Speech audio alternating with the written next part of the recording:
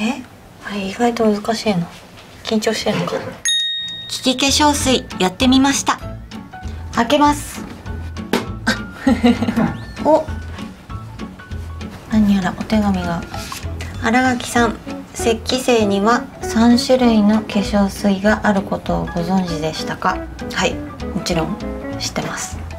今日は3種類の石器星で利き化粧水をしていただきます3種類を当てて一番好きな石器星を見つけてください。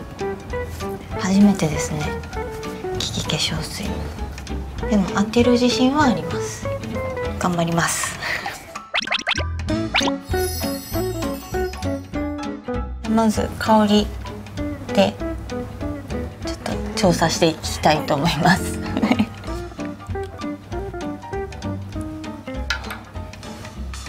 うんとろみがありますね。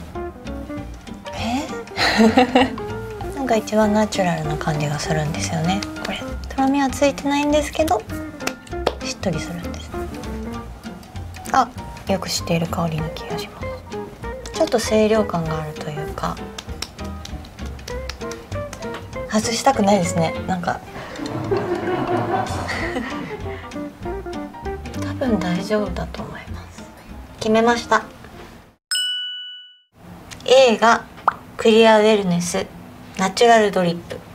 B がクリアウェルネスピュアコンク。C が薬用石器製。でお願いします。あとです。ありがとうございます。やっぱり薬用石器製がもう本当に長い間お世話になってるのでとても好きです。ここ数年はあのピュアコンクにもすごくお世話になってます。年齢とともにちょっと乾燥が気になる時も増えてきたのでぜひ。